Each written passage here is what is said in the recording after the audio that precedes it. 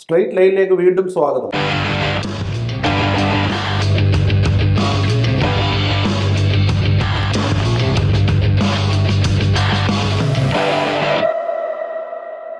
S N D P യോഗം general സെക്രട്ടറിയും S N ട്രസ്റ്റിന്റെ സെക്രട്ടറിയുമായ ആദരണീയനായ ശ്രീ വെള്ളാപ്പള്ളി നടേശനാണ് നമ്മുടെ ഇന്നത്തെ അതിഥി. നമസ്കാരം ശ്രീ വെള്ളാപ്പള്ളി നമസ്കാരം.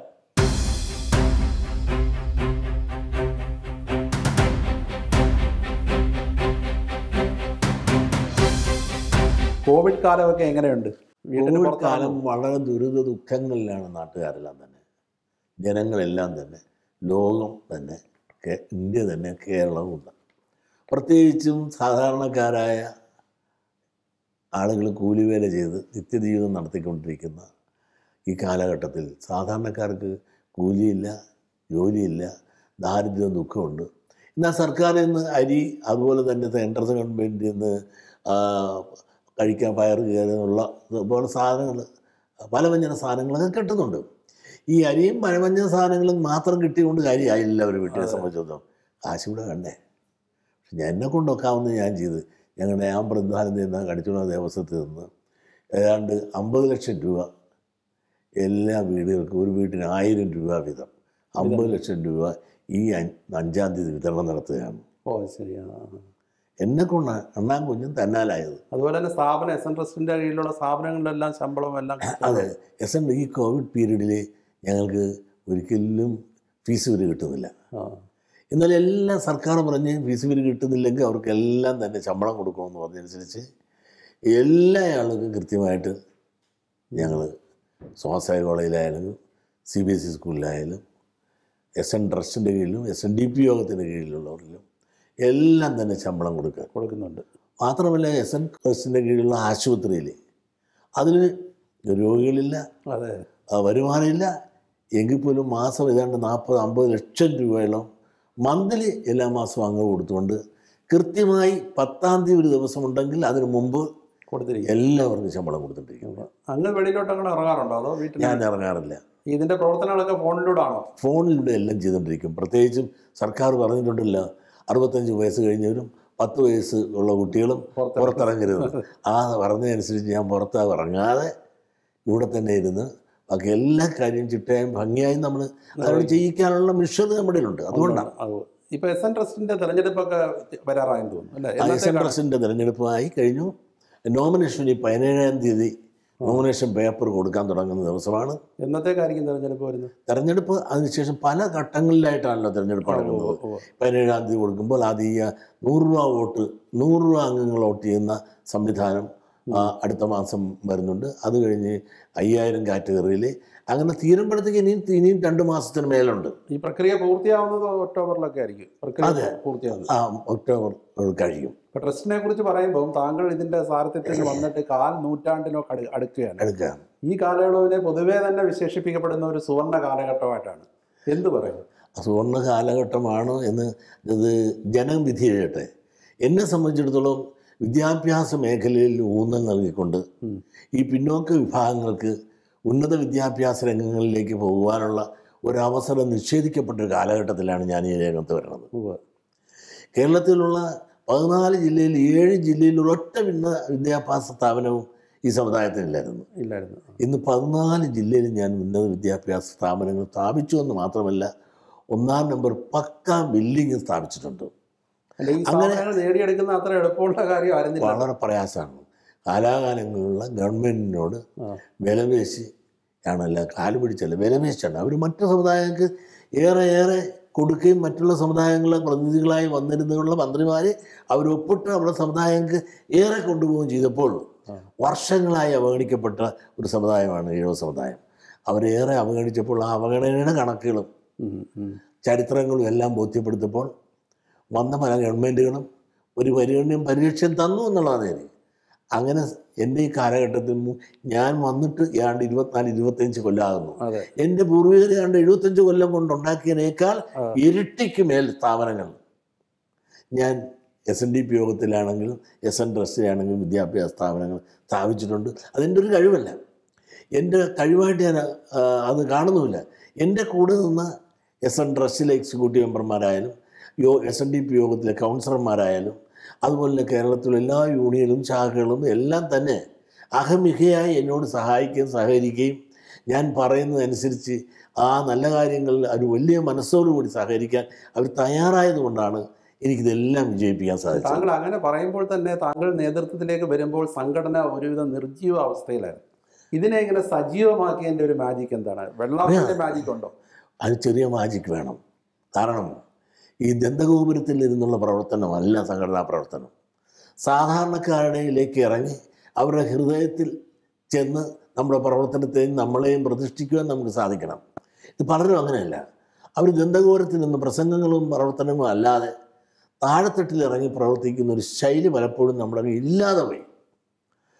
ആ ശൈലി മാറ്റിയാൽ ഞാൻ സാധാരണക്കാരിലേക്ക് ഇറങ്ങിക്കൊണ്ട് ശാഖകളിൽ കുടുംബ യൂണിറ്റ് മൈക്രോ യൂണിറ്റ് അതുപോലെ വിവിധ സ്ഥാന പോഷക സംഘടനകൾ ഉണ്ടാക്കി. വനിതാ സംഘം യൂത്ത് മൂവ്മെന്റ് ശാന്തിമാരുടെ സംഘടന എംപ്ലോയീസിന്റെ ഇങ്ങനെ ഉൾപ്പെടെ ഒരു ആറേഴ് സംഘടന പോഷക സംഘടന കുമാരി സംഘം കുമാര സംഘം. ഇതെല്ലാം ഉണ്ടാക്കി ഒരു വീട്ടിലെ എല്ലാ ആളുകളെയും പല മേഖലകളിൽ അവരെ മെമ്പർമാരാക്കിക്കൊണ്ട് ചലനാത്മകമാക്കി.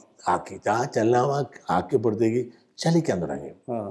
അതോടൊപ്പം തന്നെ അവരുടെ ഇല്ലായ്മയ്ക്ക് പരിഹാരം ഉണ്ടാക്കാൻ വാക്കുകൾ മാത്രമല്ല സമ്പത്തും അവർക്ക് എത്തിക്കാൻ ഉള്ള കർമ്മം ചെയ്തു. മൈക്രോ ഫൈനാൻസ് കോടാനുകോടി രൂപ അവരുടെ ഉയർച്ചയ്ക്ക് വേണ്ടി നമുക്ക് ബാങ്ക് വഴി കൊടുക്കാൻ സാധിച്ചു. ഓ അതിലേക്ക് വരാം. അന്നേരം ഈ താങ്കൾ നേതൃത്വം ഏറ്റെടുത്ത ആ ഒരു കാലഘട്ടത്തിലാണ് എ കെ ആന്റണി പറഞ്ഞത് നേതൃത്വമില്ലാത്ത സമുദായമെന്ന് പക്ഷെ താങ്കളുടെ നേതൃത്വം അതിനുള്ള ഒരു മറുപടി ആയിരുന്നില്ലേ? അത് ജനം വ്യതിചരിട്ടെ ഞാനല്ലല്ലോ പറയേണ്ടത്.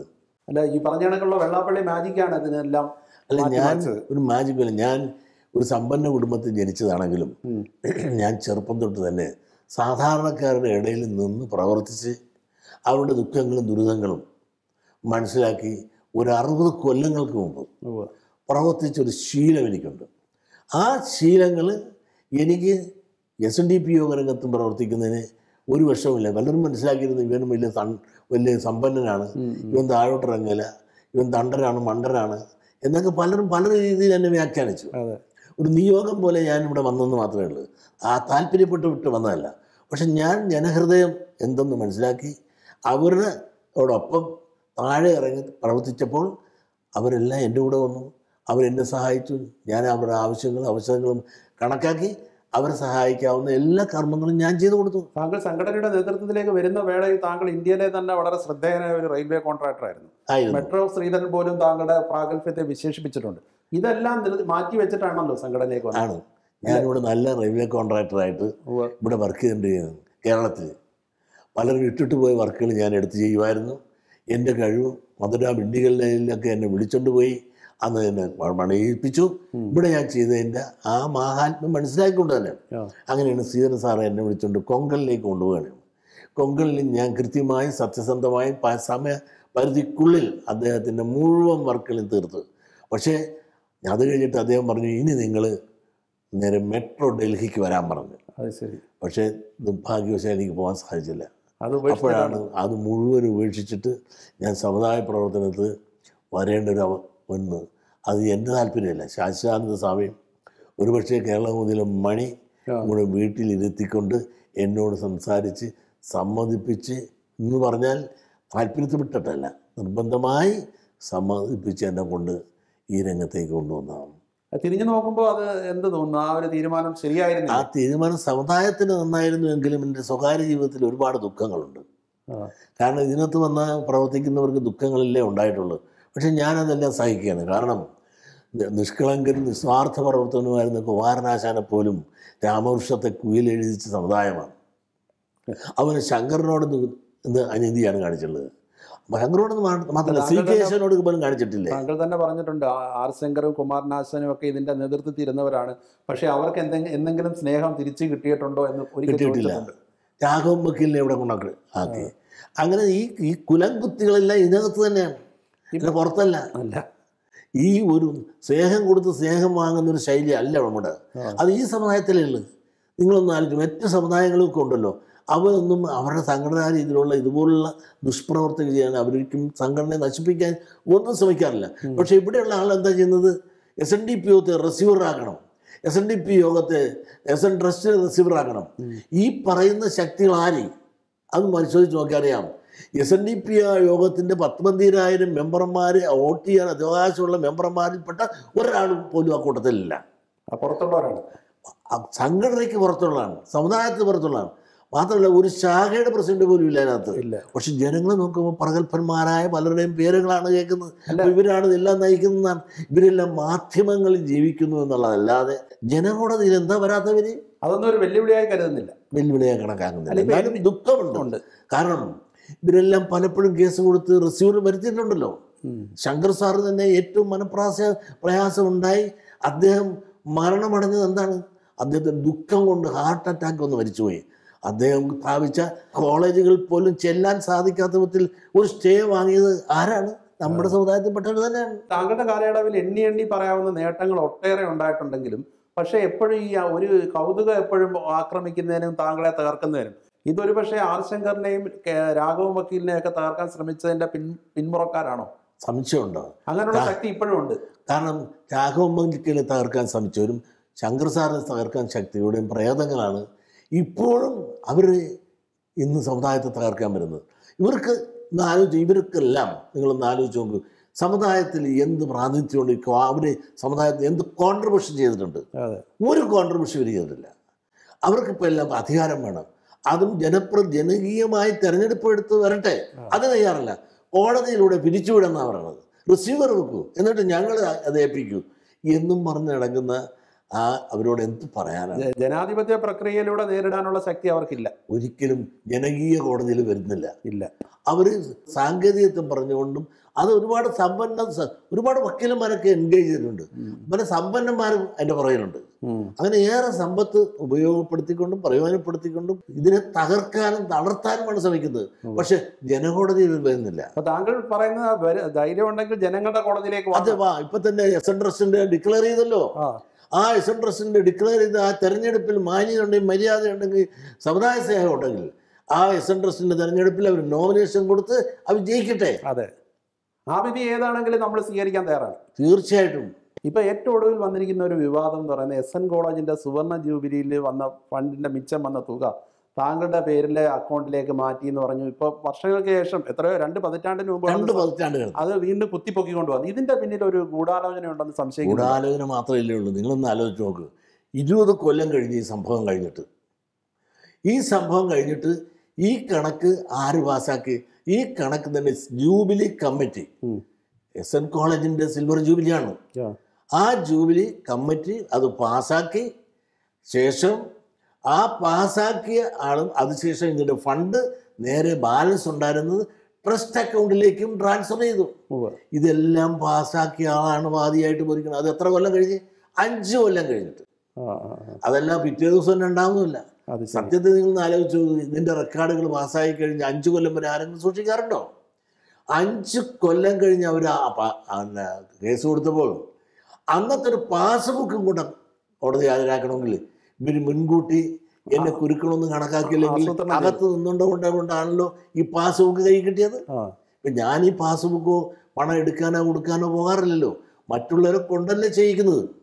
ഞാൻ സത്യസന്ധമായും ഗുരുദേവനാണ് അഞ്ച് പൈസ എടുത്തിട്ടില്ല. പല ചാനലും പറയണത് അമ്പത്തഞ്ച് ലക്ഷം എന്റെ അക്കൗണ്ടിലേക്ക് കൊണ്ടുപോയി. ഇവർ ഏത് അക്കൗണ്ടെന്ന് മനസ്സിലാകുന്നില്ല. ഇവിടെ രണ്ട് അക്കൗണ്ട് എന്നാണ് ഈ രണ്ട് അക്കൗണ്ട് ജൂബിലി നടത്തിയ ബാക്കി കാശ് എന്ത് ചെയ്യണം? എന്നെ ചോദ്യം ചെയ്യാൻ പറ്റുന്നവർക്ക് പോലും എന്നെ കുരുക്കാനാണ് അദ്ദേഹം തോന്നുന്നത് അത് ശരി. ആ കുരുക്കാൻ നോക്കുമ്പോൾ ഇതുക്ക് മുമ്പ് രണ്ട് പ്രാവശ്യം ഈ പറയുന്നവര് കേസ് കൊടുത്ത് രണ്ട് ഉദ്യോഗസ്ഥന്മാർ രണ്ട് പ്രാവശ്യം വന്ന് അന്വേഷിച്ച് ഈ കേസ് റഫർ ചെയ്ത് കളഞ്ഞ കേസാണ്. മൂന്നാമത് ഒരു അവസരം അവർക്ക് കിട്ടിയ എങ്ങനെ കിട്ടിയ അവസരം എന്ന് ഞാനിപ്പോൾ ഈ പറയുന്നത് ശരിയല്ലാത്തതുകൊണ്ട് ഞാൻ പറയുന്നില്ല. ആ അവസരം ഉപയോഗിച്ചുകൊണ്ട് ഉത്തരവ് മേടിച്ചുകൊണ്ട് പിന്നെ ഒരു അന്വേഷണം നടത്തുകയാണ്. ഈ അന്വേഷണം എപ്പോഴാണ് ഇപ്പോഴാണ് എന്തൊക്കെ വന്നത്? അപ്പൊ കൊല്ലം എത്ര? ഇരുപത് കൊല്ലം കഴിഞ്ഞിട്ടാണ്. കഴിഞ്ഞു. അപ്പോഴാണ് അവർ വന്ന് അന്വേഷിക്കുന്നത് രണ്ട് ഈ ജൂബിലി അക്കൗണ്ടിൽ നിന്ന് പണം അങ്ങോട്ട് പോയി. ഇപ്പൊ അങ്ങയുടെ വ്യക്തിപരമായ അക്കൗണ്ടിൽ നിക്ഷേപിച്ചു എന്നാ പറയുന്നത്. പക്ഷേ ഇത് ഫിനാൻസ് കൺവീനർ അതായത് ജൂബിലി കമ്മിറ്റിയുടെ ഫിനാൻസ് കൺവീനർ അക്കൗണ്ടിലല്ലേ നിക്ഷേപിച്ചത്? ഫിനാൻസ് കമ്മിറ്റി കൺവീനർ എന്നുള്ള നിലയിലാണ്. അതോടൊപ്പം ഞാൻ എസ് എൻ ട്രസ്റ്റിന്റെ സെക്രട്ടറി കൂടെയാണ്. അപ്പോൾ എന്താണ്? മാനസ ചെയ്ത പൈസ അങ്ങോട്ട് കൊണ്ടുപോകണം. അഞ്ഞൂറ് ദിവസം പറഞ്ഞ എന്താ അറിയാമോ മാനസ പൈസ ഒരു സ്ഥലത്ത് കൊണ്ടുപോകാൻ പാടില്ല. അത് നേരെ ജൂബിലി സ്മാരകമായിട്ട് ബിൽഡിംഗ് പണിയാണ്. അത് തീരുമാനിക്കേണ്ട ആരാണ്? കമ്മിറ്റി അല്ലേ? ആ ബാലൻസ് വരുന്ന പൈസ മുഴുവൻ അതിൽ നിന്ന് നേരെ ട്രാൻസ്ഫർ ചെയ്ത് എസ് എൻ ട്രസ്റ്റ് അക്കൗണ്ടിലേക്ക് കൊണ്ടുപോയി. അത് ശരി. ആ എസ് എൻ ട്രസ്റ്റ് അക്കൗണ്ടിലേക്ക് കൊണ്ടുപോയി ഇവർ വ്യാഖ്യാനിക്കുന്നത് എന്റെ സ്വന്തം അക്കൗണ്ടാണെന്ന്. ഓ അത് ശരി. എസ് എൻ ട്രസ്റ്റിന്റെ പേരിലുള്ള താങ്കളുടെ അക്കൗണ്ടാണ്. അതെ. എന്റെ പേരിൽ എസ് എൻ ട്രസ്റ്റ് എന്ന് പറഞ്ഞാൽ എന്റെ പേരിലാണ്. സെക്രട്ടറി സെക്രട്ടറിയുടെ പേരിലാണ്. Secretary S N S N trust ആ. എന്നാണ് ആരിരുന്നാലും അങ്ങനെ വരത്തുള്ളൂ. അത്രയും പേര് ആരിരുന്നാലും അങ്ങനെ ഉള്ളൂ. അപ്പൊ ജൂബിലി തീർന്നു. ബാലൻസ് പോകുന്ന ഞാൻ എന്ത് ചെയ്യണം? ഇത് കോളേജിന്റെ ജൂബിലി അല്ലേ നടന്നത്? അങ്ങോട്ട് മാറ്റിയില്ലേ. അങ്ങോട്ട് മാറ്റി കോളേജിന്റെ കാര്യങ്ങൾക്ക് ഉപയോഗിച്ചു? അതെ. അത് ഉപ- ഉപയോഗിക്കാൻ ആര് തീരുമാനിക്കുന്നു? എക്സിക്യൂട്ടീവ് തീരുമാനിക്കുക അനുസരിച്ചാണ് ഞാൻ തീരുമാനം നടപ്പിലാക്കുന്നത്. എന്നാൽ എന്നെ മാത്രമേ പ്രതിയാക്കൂ. മാത്രം കോർണർ ചെയ്യാണ് ആ എന്നാൽ ബാക്കിയുള്ളവരെയും കൂടെ പ്രതിയാക്കണ്ടേ? അപ്പൊ ഇതൊക്കെ ചില പ്രത്യേക അജണ്ടയാണ് നിക്ഷിപ്ത താല്പര്യമുണ്ട്. അതെ. ഇതൊന്നും സത്യം ആർക്കറിയാം? ടി വികളും ചാനലും വെള്ളാപ്പള്ളി നടന്ന സ്വന്തം അക്കൗണ്ടിൽ തലയ്ക്ക് ജനവാസം അകത്ത് തലച്ചോറിന്റെ ഒരു അംശങ്ങൾ ഒരു തുള്ളി ഉണ്ടെങ്കിൽ ആരെങ്കിലും അത് ചെയ്യുമോ പക്ഷേ തെറ്റിദ്ധാരണ വല്ലാത്തൊരു പുകമുറ സമുദായത്തെ അധിക്ഷേപിക്കാനുള്ള ശ്രമമായിട്ട് വേണം സമുദായത്തെ ആക്ഷേപിച്ചെന്ന് മാത്രമല്ല എന്റെ വ്യക്തിപരം എന്നെ വ്യക്തിഹത്യ വരുത്തി. മറ്റ് സമുദായത്തിന്റെ പബ്ലിക്കിന്റെ മുമ്പിൽ ഞാൻ അമ്പത്തഞ്ച് ലക്ഷം രൂപ എടുത്തുനിന്ന് വകമാറ്റി എന്റെ സ്വന്തമായി കൊണ്ടുപോയി എന്ന് പറഞ്ഞപ്പോൾ ഞാൻ വാസ്തവത്തിൽ വളരെ മനപ്രയാസപ്പെട്ടു പോയി. കാരണം അങ്ങനെ ആർക്കെങ്കിലും ചെയ്യാനൊക്കോ? ആര് ചെയ്യുമോ അതുപോലെ അത്ര ഒരു തുക സ്വന്തം അക്കൗണ്ടിലേക്ക് വരുത്തേണ്ട ആവശ്യവും ആവശ്യമില്ല മാത്രമല്ല ആർക്കും ചെയ്യാൻ സാധിക്കും ചിന്തിക്കാൻ സാധിക്കുമോ മാത്രമല്ല അങ്ങനെ ചെയ്യണമെന്ന് തന്നെ എന്റെ കൂടെ നിൽക്കുന്ന മറ്റു പ്രവർത്തകരും കമ്മിറ്റിക്കാരും സമ്മതിക്കുമോ അവർ ചുമ്മാ നോക്കി നിൽക്കണം. ഇതെല്ലാം അക്കൗണ്ടിലൂടെ യോണി യൂണിയന്റെ വേണ്ട. ജൂബിലി കമ്മിറ്റിയുടെയും അതോടൊപ്പം തന്നെ എസ് എൻ ട്രസ്റ്റിന്റെയും യോഗത്തിൽ അംഗീകരിക്കപ്പെട്ടതാണ് അന്നത്തെ പ്രഭയാണ് അത് വായിച്ച് അംഗീകരിച്ചത്. വായിച്ചത് ട്രസ്റ്റ്. ഇതിനെല്ലാം ഒപ്പം നിന്ന ആൾക്കാരാണ് ഇന്നിപ്പോ എതിര് ഒരു വിഭാഗമാണ് മാറി നിൽക്കുന്നത് അതെ. പരാതിയുമായിട്ട് വരുന്നത്. ഈ കാര്യത്തിൽ അന്വേഷണ ഉദ്യോഗസ്ഥർ താങ്കൾക്ക് പറയാനുള്ളത് ശരിയായ രീതിയിൽ കേട്ടായിരുന്നു? കേട്ടില്ല. കേട്ടില്ല. കേട്ടില്ല. അദ്ദേഹം വരുന്നതിനൊക്കെ മുമ്പ് പോകണം. അന്വേഷണ ഉദ്യോഗസ്ഥനെ ചുമതലപ്പെടുത്തിയിരിക്കുന്ന ആ ആവശ്യങ്ങൾ ആ കാര്യങ്ങളിൽ നിന്നും വിട്ടാണ് അദ്ദേഹം പല കാര്യങ്ങളും ചോദിക്കുന്നത്. നിങ്ങൾ ലൈബ്രറി എന്താ പണിയാൻ എടാ അത് അദ്ദേഹത്തെ ചുമതലപ്പെടുത്തിയിട്ടുള്ള കാര്യമല്ലല്ല. അങ്ങനെ പലതും വേണം അങ്ങനെ പലതുമാണ് മാത്രമല്ല എന്ത് ധൃതി പിടിച്ചുകൊണ്ട് ആ ആ കേസ് കെട്ടുകൊണ്ട് കൊടുത്തല്ല കോടതി. ടി വി ഞാൻ കണ്ടു. അദ്ദേഹം തന്നെ എന്താ പറയുന്നത് ഇത് ശിക്ഷിച്ചിരിക്കുന്നു. അപ്പോൾ വിധി കൊണ്ട കൊടുത്ത ആൾ തന്നെ അന്വേഷണ ഉദ്യോഗത്തിന് വിധി പ്രസ്താവിച്ചിട്ടാണ് ആ കോടതിയുടെ മുമ്പിൽ നിന്ന് പോയത്. മുൻവിധിയോടുകൂടിയാണ് അന്വേഷണം നടത്തിയത്. അതെ മുൻവിധിയോട് കൂടി കൊടുത്തു. വേണ്ട തെളിവ്. ഞങ്ങളുടെ കൊടു ഡേ ബുക്ക് കോടതിയിലാണ്. അതൊന്നും അതൊന്ന് എടുത്ത് കാണിക്കാനുള്ള അവസരം പോലും ഞങ്ങൾക്ക് തന്നില്ല. തന്നില്ല. അത് ചോദിച്ചപ്പോൾ തരാനൊക്കെ ഇതില്ല കോടതിയിലാണെന്ന് പറഞ്ഞു. ഞാൻ എന്ത് ചെയ്യും ഈ വിവാദം താങ്കളെ തളർത്തത്തില്ല. ഏയ് തളർത്തത്തില്ലെന്ന് പറഞ്ഞ സത്യം എന്റെ കൂടെയാണ്. ഓ ഓ ഓ ഞാനൊരു അനീതിയും ചെയ്തിട്ടില്ല ഒരു സിംഗിൾ പൈസ ഞാൻ ഇവിടെ നിന്ന് എടുത്തിട്ടില്ല. എടുത്തിട്ടില്ല. എടുക്കാത്തടത്തോളം ഞാൻ എന്തിനാ ഭയപ്പെടുന്നത്? അതെ. പണ്ട് പലരും പറഞ്ഞല്ലോ മടിയിൽ ഖനമുള്ളവനെ ഭയപ്പെടേണ്ടതുള്ളെന്ന് പറഞ്ഞ തെറ്റിയാത്ത ഞാൻ എന്തിനു ഭയപ്പെടണം കോടതി നീതി നേടും എന്നുള്ള കാര്യത്തിൽ യാതൊരു സംശയമില്ല പക്ഷേ ഈ സമയത്ത് എന്നെ വ്യക്തിഹത്യ നടത്തി എന്റെ ഒരു ഇമേജിനെ നഷ്ടപ്പെടുത്തുവാൻ ഒരു പരിധി ശത്രുക്കൾ സാധിച്ചു എന്നുള്ള സത്യം ഞാൻ തുറന്നു പറയാം. കാലാകാലങ്ങളിൽ ഇത്തരം നീക്കങ്ങൾ പല രീതിയിൽ വന്നിട്ടുണ്ടല്ലോ. വന്നിട്ടുണ്ട്. ഇതൊന്നും ഞങ്ങളുടെ വോട്ടിംഗ് പാറ്റേണിൽ ഒന്നും ബാധിക്കില്ല. ഇല്ല ഇല്ല. അതുകൊണ്ട് ഇപ്പോൾ അവർ ചെയ്യാനുള്ളതൊക്കെ ചെയ്തല്ലോ. ഇനിയെങ്കിലും കോടതി പോകാതെ ഈ റെസൻട്രസ് തെരഞ്ഞെടുപ്പിന് അഭിമുഖീകരിക്കുക അതെ. അത് തടസ്സവാദം ഉന്നയിക്കാതിരിക്കുക